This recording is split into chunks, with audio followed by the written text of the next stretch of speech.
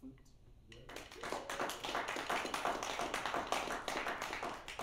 Julian Carpenter on the drums. And that's Edwin Livingston on the bass. We've got a, a few more for y'all, um, and we're gonna start the few with uh, a thing from uh, Ellington Strayhorn called uh, C Jam